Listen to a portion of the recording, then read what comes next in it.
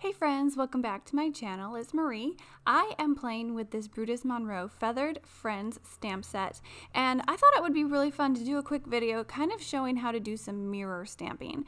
So most of the video is going to be about that.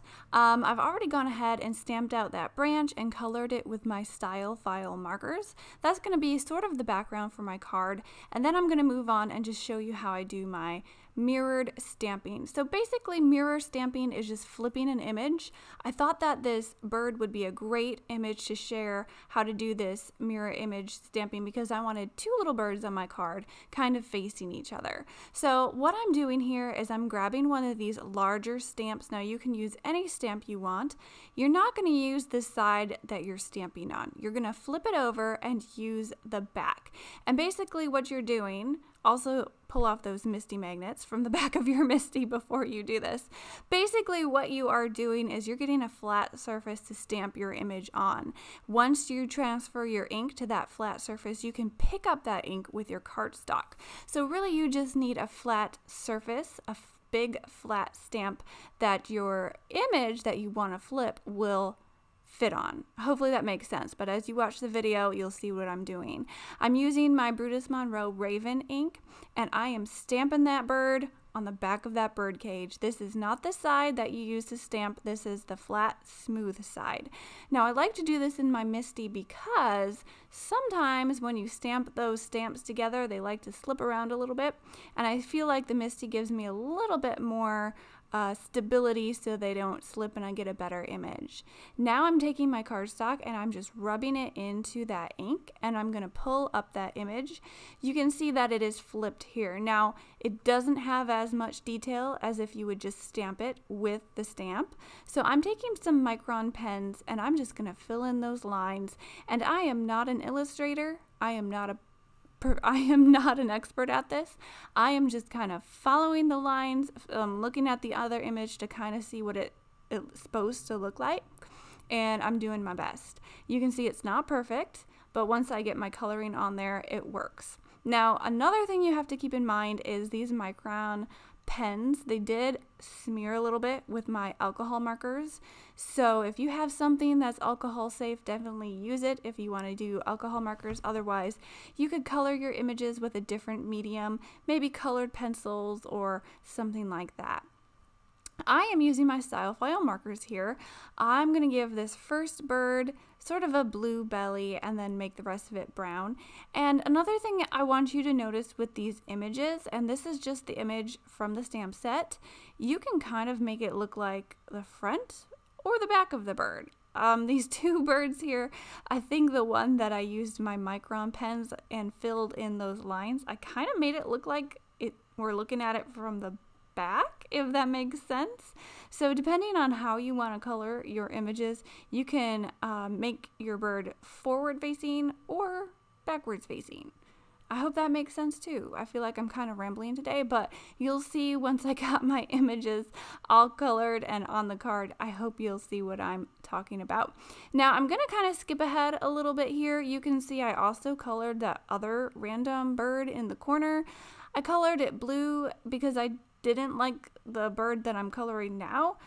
And then I went back and went to my first bird that I'm coloring now because I didn't like the bluebird. So I always stamp out images several times so that if I start coloring and I don't like them, I can just go ahead and color the next image and I don't have to pull out my MISTI and all those other things and just stamp again.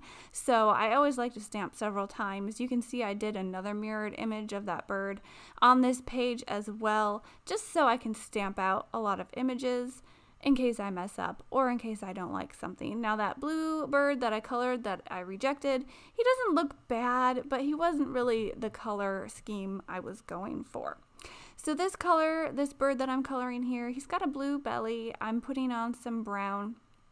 And the way I like to use my alcohol markers is I like to start with my lightest color and then do my midtone and then my darkest color, and then I like to go back to my lightest color and just blend those all out.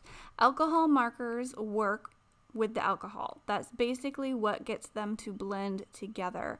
And I am no expert, but how I how I uh, learned is that alcohol there is more alcohol content in the lighter pens than the darker ones. So the lighter colors are actually going to be easier to blend with. So that's why I like to put the lighter color down first and then go to my darker colors and then go back to my lighter color because the more you color over it with your lighter color, the better blend you're going to get. At least that's the way I do it. I am not an expert. You can see I'm I'm not even getting the shading right on this bird. I'm just kind of guessing and going with what I think looks good. If you want to do some really simple shading, just make the outside lines darker and make it lighter on the inside and I guess I feel like some shading is better than no shading, right? So just get a little bit of shading in there. Just practice. Um, you know, look at different images, other people that have colored this image, see what they've done and get inspiration for them.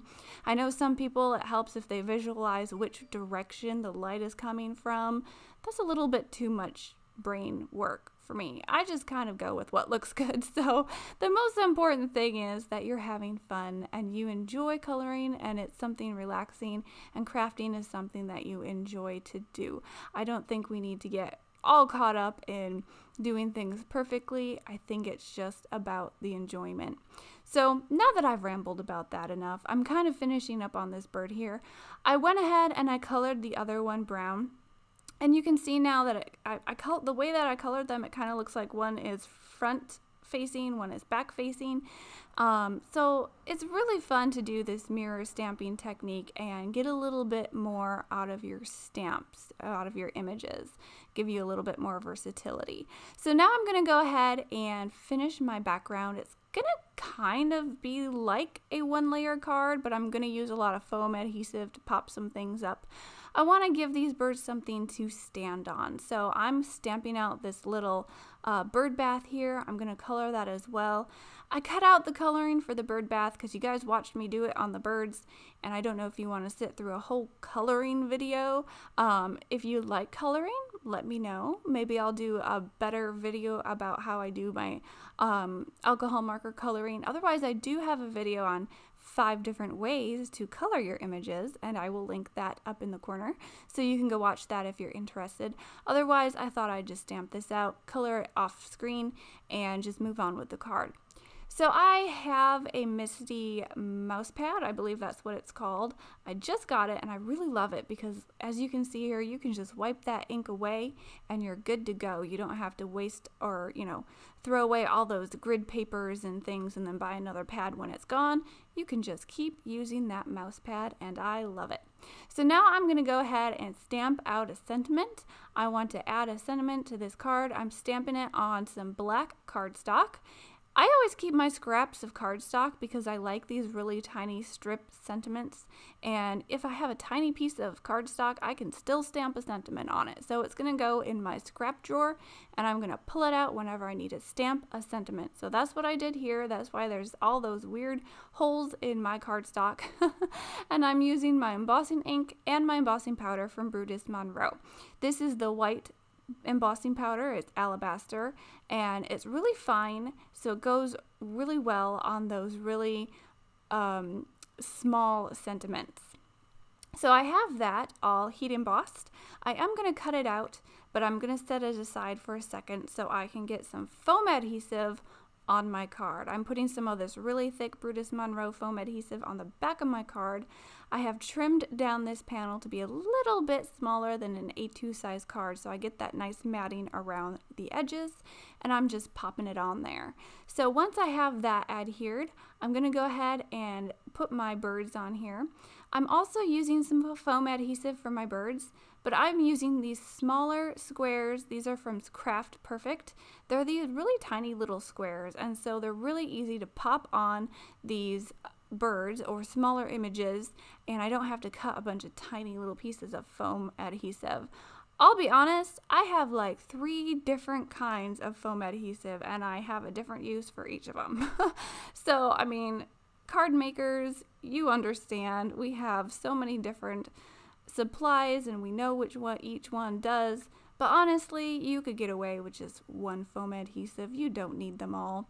Um, but I'm also going to go ahead and pop on my sentiment here. This is the one that I cut out. I cut around that friend um, to kind of help that beautiful script stand out. I just fussy cut all that. You could use your Brother's ScanNCut too if you had one of those and get a really nice, um, really nice little edge around your sentiments. But I'm popping on some more of that foam adhesive, these little squares, and they fit just perfectly. And then I'm going to add that to my card. And that's really going to finish the card. I'm not going to be doing too much more embellishments. I'm always tempted to splatter my cards or add some sequins, so I thought I would just decide against that on this card. I think splatters might look nice up there in the trees or something, but I really wanted to just keep it simple and show off this mirror stamping technique. So I know there's different ways to do mirror, mirror stamping. I just wanted to show one of them today. But let me know in the comments if this was helpful to you or if you have any other tips on mirror stamping. I'd love to learn. And otherwise, that's kind of the card. So I do have a blog post. I'll put the link down below and I'll also link to all the products that I used today if you're interested. Otherwise, that's kind of the card today. Uh, thank you so much for stopping by. Just remember to like and comment and share and subscribe and do all the things. And I will catch you again next time. Have a great day, everyone. Bye.